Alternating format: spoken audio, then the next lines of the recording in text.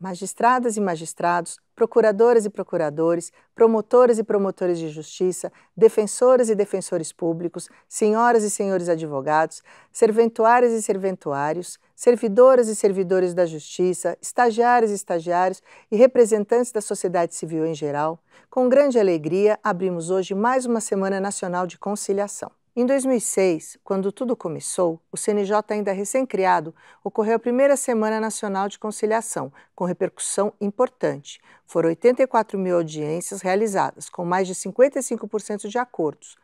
Houve ali um reconhecimento sobre o valor de aproximar as partes em conflitos e auxiliar na autocomposição, seja pela mediação, seja pela conciliação. Desde 2006 até aqui, muita coisa aconteceu inclusive a Lei de Mediação em 2010 e a instalação de núcleos permanentes de métodos consensuais de solução de conflitos e mais de uma centena de centros judiciários de solução de conflitos em todo o Brasil. Trata-se de uma política judiciária nacional de maior importância que tem como finalidade promover os meios autocompositivos de solução de controvérsias, auxiliando as pessoas a ter mais autonomia para resolver suas pendências e, assim, se tornar mais livres e independentes do sistema judicial.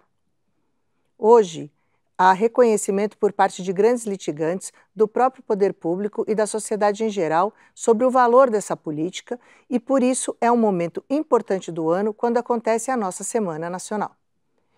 Com milhões de processos em andamento, sendo muitas causas repetitivas, tratando do mesmo tema, já decidido muitas vezes, a conciliação dos interesses das partes se apresenta como um caminho natural para pôr fim à demanda que muitas vezes se arrasta nos judiciários por anos.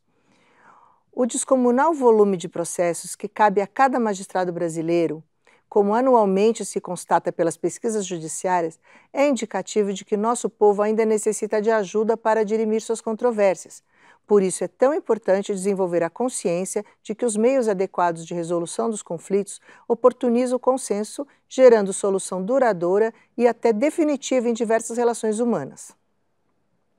Assim, abrimos oficialmente a 19ª Semana Nacional, festejando os milhares de acordos já realizados nas edições anteriores e torcendo para que nesse ano tenhamos um novo recorde com muitos casos solucionados definitivamente para a pacificação da nossa sociedade. Em nome do Conselho Nacional de Justiça, agradeço a todas e a todos que atuaram para essa semana acontecer e dou por abertos os trabalhos, desejando boa sorte e muitas conciliações a todas e todos.